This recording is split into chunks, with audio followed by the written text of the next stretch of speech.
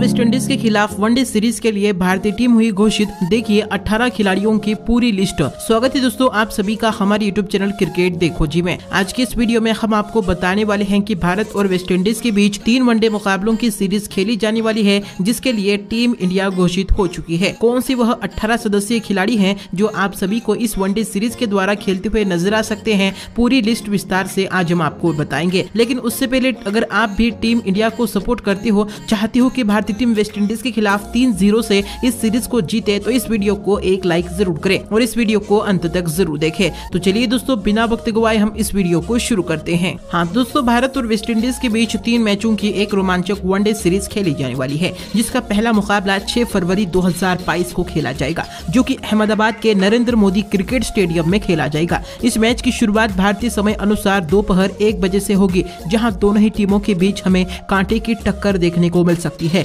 भारत और West Indies के बीच खेली जाने वाली यह वनडे सीरीज़ भारतीय मैदानों पर खेली जाने वाली है, जिसके लिए भारतीय टीम को काफ़ी फ़ायदा हो सकता है। हाल ही में साउथ अफ्रीका के खिलाफ टीम इंडिया को तीन ज़ीरो से वनडे सीरीज़ गंवानी पड़ी थी, लेकिन वह साउथ अफ्रीका के मैदान पर खेली गई वनडे सीरीज़ थी। लेकिन अब इस बार कप्तान रोहित शर्मा टीम इंडिया को तीन ज़ीरो से वेस्ट इंडीज के खिलाफ जीत दिलाकर उस सीरीज़ का हार का बदला ले सकते हैं। इस वनडे सीरीज़ के लिए टीम इंडिया के 18 सदस्यीय टीम घोषित हो चुकी है। इस बार चयनकर्ताओं के द्वारा कई सारे चौंकाने वाले फैसले हमें देखने को मिले हैं। जहाँ कई सारे दिग्गज खिलाड़ियों को बाहर किया गया है। इनके अलावा कई सारे खिलाड़ियों को भारतीय टीम में शामिल कर टीम इंडिया काफ़ी ज़्यादा मज़बूत नज़र आ रही है। जहाँ एक तरफ़ all-rounder Hardik Pandya team India से बाहर है, इसके अलावा रविंद्र जडेजा भी टीम में मौजूद नहीं है। तो वहीं पर गेंदबाजी में जसप्रीत बुमराह और मोहम्मद शमी की कमी ज़रूर महसूस होगी। इसके अलावा एक तरफ़ भारतीय टीम में कई सारे दिग्गज खिलाड़ियों की वापसी हुई है, जिसमें कुलदीप यादव का नाम सबसे पहले आता है। जो कि एक चाइनामैन गेंदबाज हैं और अपनी फिरकी गेंदबाजी से वेस्ट इंडीज के बल्लेबाजों को अच्छा खासा परेशान कर सकते हैं। तो चलिए दोस्तों, जान लेते हैं वेस्ट इंडीज के खिलाफ खेली जाने वाली इस वनडे सीरीज़ के लिए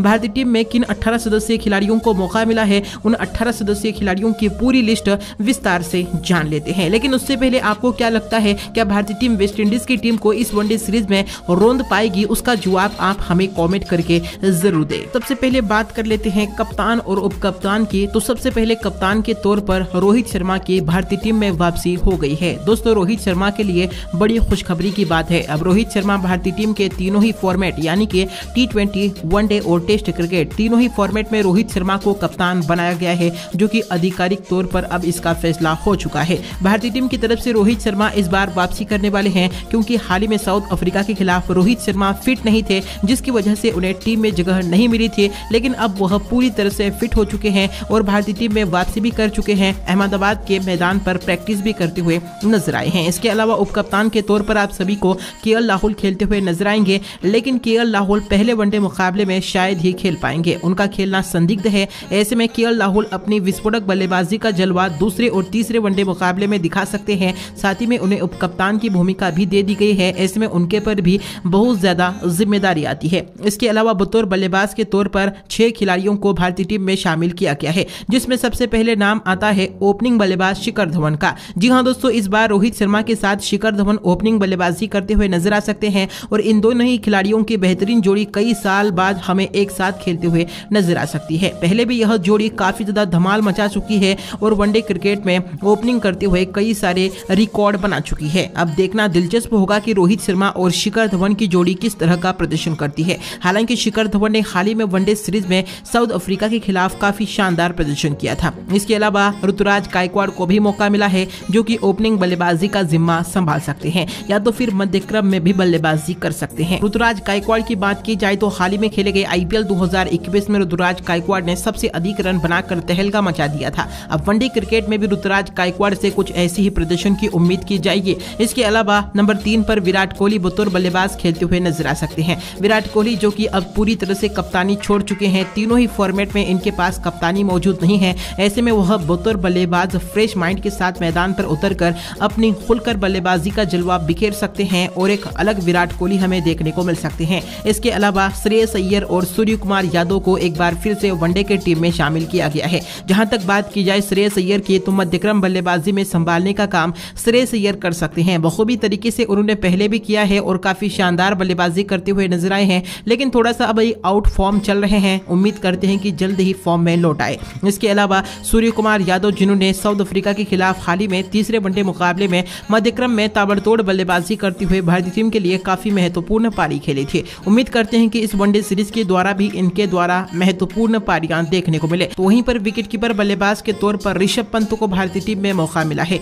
जो की अपनी विस्फोटक बल्लेबाजी का जलवा एक बार फिर से दिखा सकते हैं। भारतीय क्रिकेट टीम की तरफ़ से ऋषभ पंत तीनों ही फॉर्मेट में विकेट कीपिंग का अहम जिम्मा संभालते हुए नज़र आते हैं। ऐसे में इस वनडे सीरीज़ के द्वारा ऋषभ पंत से बेहतरीन प्रदर्शन की उम्मीद की जाएगी। इसके अलावा ऑलराउंडर खिलाड़ियों के तौर पर नंबर एक पर दीपक हुडा को मौका मिला है, जो कि भारतीय टीम की तरफ़ से तीनों ही वनडे मुकाबले खेलते हुए नज़र आ सकते हैं। दीपक हुडा एक बेहतरीन ऑलराउंडर खिलाड़ी हैं, जो कि अपने विस्फोटक बल्लेबाजी के लिए जाने जाते हैं। साथ ही में वक्त पड़ने पर गेंदबाजी भी करके दिखा सकते हैं और भारतीय टीम के लिए विकेट्स भी दिला सकते हैं। ऐसे में दीपक हुडा टीम इंडिया के लिए गोल्डन खिलाड़ी बन सकते हैं। तो वहीं पर एक बार फिर से वाशिंगटन सुंदर की लंबे समय के बाद क्रिकेट में वापसी हो गई है। पिछले सीरीज़ के लिए वाशिंगटन सुंदर को चुना गया था, लेकिन उनकी रिपोर्ट पॉजिटिव आने की वजह से उन्हें भारतीय टीम के स्क्वाड में शामिल नहीं किया गया है। लेकिन अब वाशिंगटन सुंदर पूरी तरह से निगेटिव है, यानी कि उनकी रिपोर्ट निगेटिव है और वह भारतीय टीम के स्क्वाड में शामिल हो चुके हैं क्वारंटाइन पे हो चुके हैं। अब उम्मीद करते हैं कि स्पिन गेंदबाजी के साथ साथ वाशिंगटन सुंदर बल्लेबाजी में भी अपना थोड़ा सा योगदान दे। इसके अलावा आप सभी को तेज गेंदबाज शार्दुल ठाकुर खेलते हुए नज़र आ सकते हैं, जो कि के तौर पर तेज गेंदबाजी के लिए जाने जाते हैं, लेकिन बल्ले के साथ भी इनका कोई जवाब नहीं है। बल्ले के साथ भी इन्होंने हाल ही में साउथ अफ्रीका के खिलाफ अर्धशत की पारी खेलकर टीम इंडिया को जीत दिलाने की पूरी कोशिश की थी और अंत तक लड़े थे। ऐसे में शार्दुल ठाकुर से एक बार फिर से कुछ उसी तरह की गेंदबाजी और बल्लेबाजी की उम्मीद की जाएगी। वहीं पर स्पिनर गेंदबाज के तौर पर तीन स्पिनर गेंदबाजों को मौका मिला है, जहाँ सबसे पहले तो युजविंद्र चहल का नाम आता है, जो कि अपनी जादुई स्पिन गेंदबाजी से सब वेस्ट इंडीज के बल्लेबाजों को अच्छा खासा परेशान कर सकते हैं। हालिया खेला गया साउथ अफ्रीका का दौरा युजवेंद्र चहल के लिए काफ़ी खराब रहा था। उनके द्वारा कुछ खास गेंदबाजी देखने को नहीं मिली थी, लेकिन इस बार युजवेंद्र चहल के द्वारा हमें शानदार गेंदबाजी देखने को मिल सकती है। इसके अलावा आप सभी को कुलदीप यादव की वापसी होते हुए भी नज़र आ सकती है। इस सालों के बाद कुलदीप यादव की टीम इंडिया में वापसी होते हुए हमें नज़र आएगी, जो की एक बेहतरीन चाइनामैन गेंदबाज है और अपनी बेहतरीन स्पिन गेंदबाजी के सामने वेस्ट इंडीज के बल्लेबाजों को धाराशाही करने का काम कर सकते हैं। टीम इंडिया के लिए और खास तौर पर उनके लिए यह वनडे सीरीज़ काफ़ी अहम होने वाली है और भारतीय टीम के लिए भी यह वनडे सीरीज़ काफ़ी अहम होगी, क्योंकि यह वनडे सुपर लीग के हिसाब से यह तीनों ही मुकाबले खेले जाने वाले हैं। इसके अलावा आप सभी को नंबर तीन पर, यानी कि तीसरा स्पिनर गेंदबाज के तौर पर रवि बिश्नोई खेलते हुए नज़र आ सकते हैं। रवि बिश्नोई भी एक बेहतरीन स्पिनर गेंदबाज है और पंजाब किंग्स की तरफ़ से आप सभी को खेलते हुए नज़र आए थे। आईपीएल में इनका काफ़ी अच्छा प्रदर्शन रहा था। हालिया दोस्तों, इन्होंने घरेलू क्रिकेट में भी काफ़ी शानदार गेंदबाजी की है, जिसकी वजह से भारतीय टीम में इन्हें मौका मिला है। तो वहीं पर तेज गेंदबाजों के तौर पर भारतीय टीम में चार युवा तेज गेंदबाजों को शामिल किया गया है। सबसे पहले नाम आता है मोहम्मद सिराज का, जो कि टेस्ट क्रिकेट में अपना लोहा मनवा चुके हैं, लेकिन अब वनडे क्रिकेट में भी अपना लोहा मनवाने के लिए मोहम्मद सिराज वनडे की टीम में शामिल हो चुके हैं। जो कि दोस्तों मोहम्मद सिराज तेज तर्रार गेंदबाजी के लिए जाने जाते हैं। काफ़ी तेज 140 से ज़्यादा स्पीड के साथ गेंदबाजी करते हैं और मोहम्मद सिराज के लिए यह दौरा काफ़ी अहम हो सकता है। इसके अलावा दीपक चहर भी तेज गेंदबाज के तौर पर खेलते हुए नज़र आ सकते हैं। हाल ही में दोस्तों, साउथ अफ्रीका के खिलाफ दीपक चहर ने बल्लेबाजी से अर्धशत की पारी खेली थी और भारतीय टीम को जीत की दहलीज तक ला रखे थे। इसके अलावा गेंदबाजी में भी दीपक चहर ने शानदार गेंदबाजी की थी, जिसकी वजह से एक बार फिर से इन्हें वेस्टइंडीज के खिलाफ वनडे सीरीज़ में मौका मिला है। अब उम्मीद करते हैं कि शानदार प्रदर्शन करे। इसके अलावा आप सभी को तीसरे तेज गेंदबाज के तौर पर प्रसिद्ध कृष्णा खेलते हुए नज़र आ सकते हैं, जिनका हाल ही में साउथ अफ्रीका के खिलाफ भी चयन हुआ था और उन्हें मौका भी दिया गया था। उनके द्वारा ठीक ठाक गेंदबाजी देखने को मिली थी। लेकिन उम्मीद करते हैं कि इस बार उनसे और बेहतरीन प्रदर्शन किया जाए। इसके अलावा आप सभी को आवेश खान भी तेज गेंदबाज की भूमिका निभाते हुए नज़र आ सकते हैं। इस गेंदबाज ने आईपीएल में काफ़ी शानदार प्रदर्शन किया है। साथ ही में उसके बाद घरेलू क्रिकेट में भी इनके द्वारा शानदार गेंदबाजी देखने को मिली है और इनकी इसी बेहतरीन गेंदबाजी के दम पर टीम इंडिया में इनका सिलेक्शन हुआ है। ऐसे में अब देखना दिलचस्प होगा कि इन चार तेज गेंदबाजों में से कौन सा गेंदबाज बेहतरीन प्रदर्शन कर पाता है, भारतीय टीम में अपनी जगह को तय कर पाता है। दोस्तों, कुछ इस तरह से भारतीय टीम का 18 सदस्यीय खिलाड़ियों का पूरा स्क्वाड है। ऐसे में आपको क्या लगता है, क्या टीम इंडिया इस वनडे सीरीज़ को जीत पाएगी? क्या रोहित शर्मा की कप्तानी में भारतीय टीम इस वनडे सीरीज़ को जीत कर इतिहास रच पाएगी? उसका जवाब आप हमें कॉमेंट करके ज़रूर दें। इस वीडियो को एक लाइक ज़रूर करें चैनल को सब्सक्राइब ज़रूर करें।